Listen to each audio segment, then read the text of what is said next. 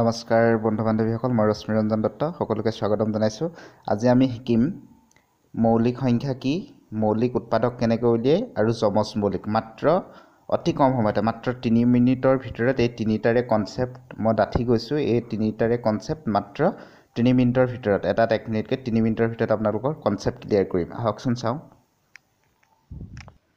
এতিয়া এইটো এটা সংখ্যা। সংখ্যাটো কি দেখিছে? বাৰ দেখিছে। এতিয়া চাব দেই বাৰ সংখ্যাটো আমি কি কি সংখ্যা পূৰণ কৰিলে বিভিন্ন ধৰণে বাৰ পাব পাৰোঁ? এক পূৰণ বাৰ দুই ছয় গুণ বাৰ তিনি চাৰি গুণ বাৰ। অৰ্থাৎ এক দুই তিনি চাৰি ছয় আৰু বাৰ। এইকেইটাই হৈছে সংখ্যা। যিকেইটা সংখ্যাক আমি ইটোৰ লগত আনটোক কি কৰিলে পূৰণ কৰিলে আমি বিভিন্ন ধৰণে বাৰ পাব পাৰোঁ। এইকেইটাৰ বাহিৰে আৰু বেলেগ সংখ্যা পূৰণ কৰিলে আমি বাৰ নাপাওঁ।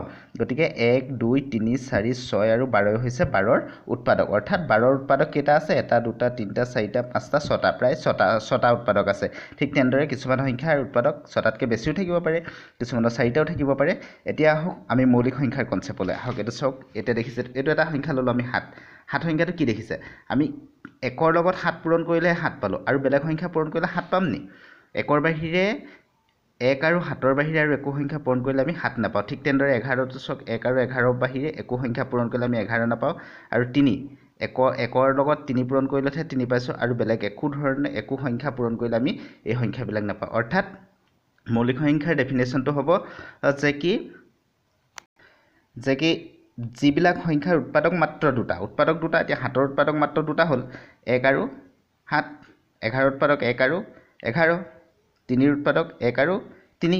গতিকে ই যিবিলাক সংখ্যাৰ উৎপাদক মাত্ৰ দুটা এক আৰু সংখ্যাটো সি নিজে এক আৰু সংখ্যাটো সি নিজেই এক সংখ্যাটো ই নিজেই এক সংখ্যাটো ই নিজেই বুজি পালেনে?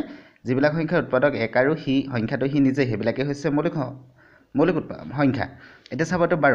বাৰ সংখ্যাটো মৌলিক নহয়। কিয় নহয়? কাৰণ এক আৰু বাৰৰ বাহিৰেও ইয়াত বেলেগ সংখ্যা। দুইৰ লগত ছয় পূৰণ কৰিলেও আমি কি পাইছোঁ? বাৰ পাইছোঁ। তিনিৰ লগত চাৰি পূৰণ কৰিলেও আমি কি পাইছোঁ? বাৰ পাইছোঁ। গতিকে বাৰটো মৌলিক সংখ্যা নহয়। এতিয়া মৌলিক সংখ্যা ডেফিনেশ্যন আমাৰ ক্লিয়াৰ হৈ গ'ল।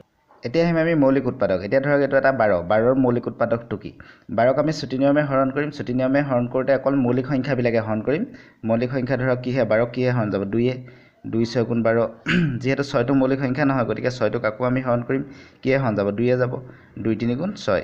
এতিয়া গোটেইকেইটা যিহেতু মৌলিক সংখ্যা হ'ল এতিয়া বাৰৰ মৌলিক উৎপাদককেইটা হ'ব এইকেইটা গোটেইকেইটা পূৰণ কৰি দিব লাগিব উৎপাদককেইটা।